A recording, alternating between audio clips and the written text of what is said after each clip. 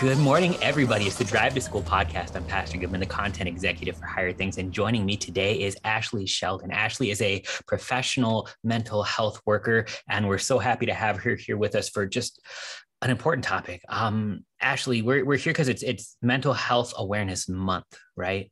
Yep, absolutely. So, um, what does this mean? Yeah, dive in. Yeah. So I, uh, when you ask me what topic we should cover, um, I always have to rack my brain um, on what we should talk about because I could give many speeches and many talks about many things. But um, I realized and remembered that May is Mental Health Awareness Month. Um, for me, I try to make every month um, Mental Health Awareness Month, but um, on the books. It's Mental Health Awareness Month. So, um, really, the biggest thing about that is really, like it says, awareness, right? I think that there is. Um, is and has been a lot of stigma regarding mental health, um, mental health support, mental illness, right? All of those kinds of things. And um, it's often um, kind of a taboo topic, right? It's kind of uncomfortable to talk about. It's uncomfortable to talk about our feelings. It's uncomfortable to be like, hey, I'm not doing well right? I'm not doing great. I'm struggling a little bit, right? It's kind of um, more acceptable, you know, when somebody asks you, you don't ever tell them how you really are, right? It's how are you? I'm fine. I'm good. Yeah. I'm fine,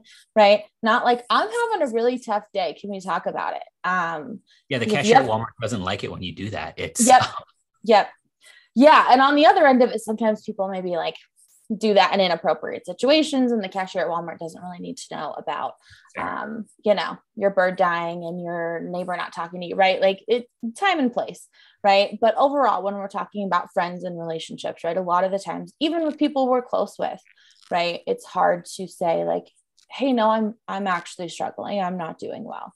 Um, and so yeah the the awareness month and just checking in about it is really um, about you know trying to end the stigma right? Letting people know that it's okay to not be okay. It's okay to ask for help. It's an important thing. Uh, and we talk about you know the awareness month. Um, and it's one of those things that i think on, on one side you have people who just sort of throw their hands up to another thing to be aware of. But on the other like the people who struggle they're aware of it every day.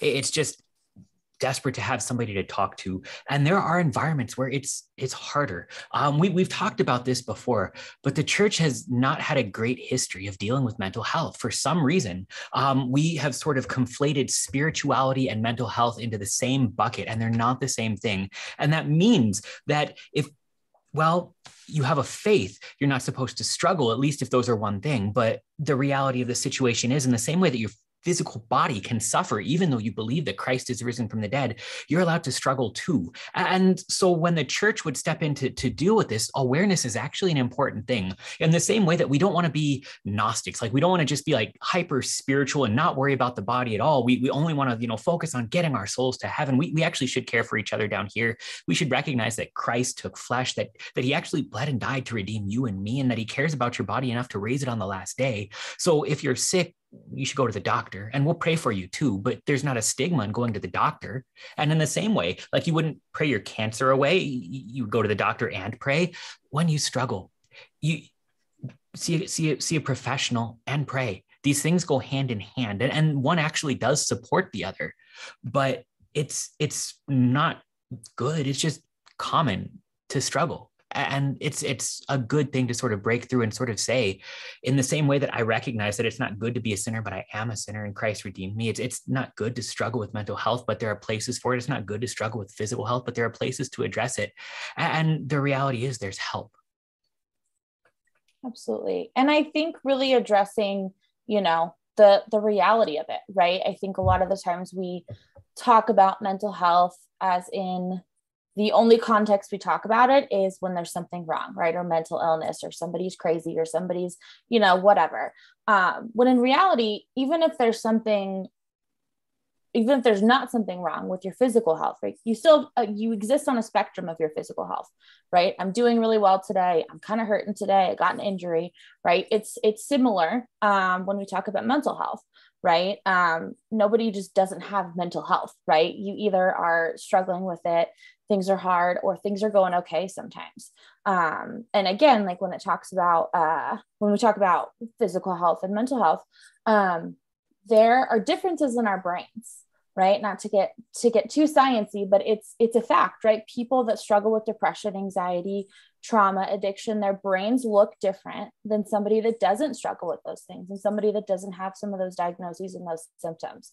And so um, it's it's a fact right? We can't ignore it. We can't pretend it doesn't happen. It's a fact. And so we have to address it. Um, and the less that it's stigmatized and the more that we encourage people that it's okay and it's encouraged and it's, it's a brave thing to do right? To reach out and sit and talk to somebody about your deepest darkest secrets and your vulnerabilities right? That's a really brave and hard thing to do. Um, and i think the more that we encourage people to do it and let people know that it's okay the more willing people are to start opening up about it I think it's important to, to recognize, especially when you talk about the idea that mental health exists, exists on a spectrum, that also means that you're allowed to address it before it becomes a crisis. Um, and, and, quite frankly, if you address it ahead of time, you, you probably save a lot of struggle, right? Mm-hmm. Yeah, absolutely. I think that's where people feel overwhelmed. Um, that's where systems get overwhelmed, right? If, if the only place that people ever get help is in the hospital, right, is in a crisis, is, um, you know, during or after a suicide attempt, um, that's not just like hey go to therapy once a month and you're good right? Like that means we've really got to do some some work on it right? We got to get some things going. And so i think preventative stuff right? Like mental health doesn't always just mean talk therapy right? It means having good and healthy and supportive relationships with the people in your life. Um, it means having good self-care right? Doing things that are helpful for your your body and your mind um, and and like you said yeah preventative work right? Knowing what works for you knowing what helps you feel good knowing what helps you do well and knowing what doesn't right? And and the things that are harmful to us physically mentally everything. Um, and then avoiding those places and people and things right? And and just being aware of of what works for you right? And just being really self-aware of what's helpful for you and what isn't so in the church, uh, we, we talk about sort of your, your daily devotions, your spiritual life, your care that um, it, it's, it's one thing to sort of call the pastor in a panic because there's an absolute crisis, but there's also something like read a psalm a day. And it's one of those things where it's, it's hard to do um, like I, struggle with it, and, and, I'm a pastor and I'm surrounded by books to look smarter than I actually am, and it's actually hard in my free time to just pick one up and read it because it's good for my soul. Um, in the same way, um, I, I, know that there are, you know, the crisis numbers to call if, if you, you, you feel like you're about to hurt yourself. But how do you check in with your mental health on a daily basis before that sort of crisis mode? What do you do? Yeah. So some of the things that I suggest um, are having a good routine, right? Waking up at the same time every morning, going to bed around the same time every night, having a good morning routine, having a good nighttime routine, sometimes brushing your teeth is like the simplest thing you can do for your mental health and just like staying on top of stuff. Um, I encourage people to journal.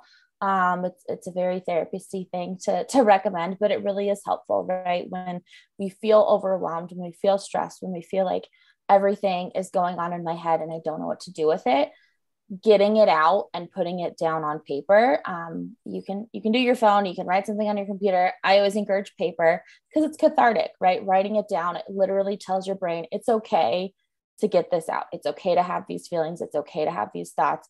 I'm putting them down on paper.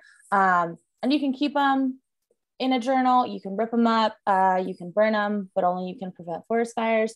Uh, so do that safely. But I think getting them out and journaling is one of the, the top things I recommend, right? Is in in times of uh, you know when you're feeling okay and as prevention, but also as really when, in times when you're really struggling, right? I really need to get these feelings out.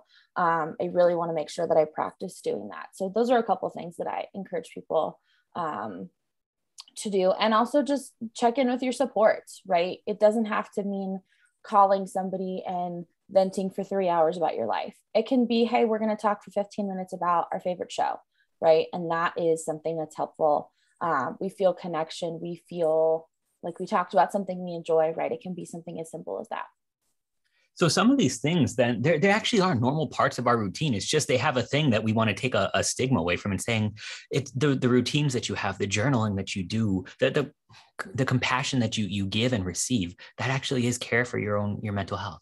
Mm-hmm. This a good thing to be aware of. Yeah. Fair enough. Anything else we kind of want to hit today? Um I think you hit the nail on the head with the prevention thing, right? Getting ahead of it beca- before it becomes a crisis, right? People don't magically become suicidal one day, right? People don't magically get to the point where they're drinking a liter of alcohol a day, right? People don't get to that point overnight. Um, check in on your friends, be preventative, um, be proactive about your own self care, about your own support. Um, there's lots of avenues to get that help. Um, your your school, your doctor, hopefully your pastor, your church has some resources to point you to as well. Um, but I think just that it's okay to to not be okay. It's okay to need help and support, and um, that that's like I said, that's encouraged. That's a brave thing to do, and that's what I want to do is reduce that stigma around it. Yeah, I love it. I'm going to leave you with with one request then. Um, when you go to church, um, we as pastors are sometimes we struggle with this. We, we struggle with where to put this. Um, if you are a pastor, pray for mental health sometime this month during the prayers of the church. If you're not a pastor, ask your pastor to pray for mental health sometime during the prayers of the church this month. I, I guarantee you there's at least one person sitting in those pews who's very much struggling and, and Lord have mercy on them. That's, that's what we're here for. So um, this is uh, the Drive to School podcast, uh, being aware of mental health. Um, Ashleigh, thanks so much for being here with us today. Thank you.